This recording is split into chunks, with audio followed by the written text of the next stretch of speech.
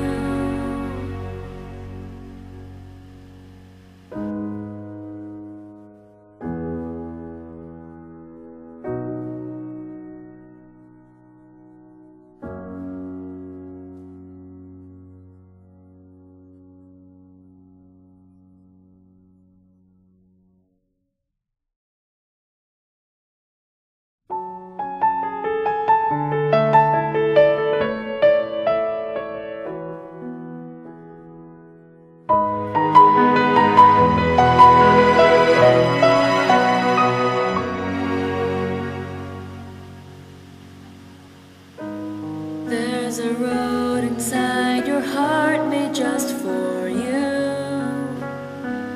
Don't be scared, take your first step and then take two. Pain will come.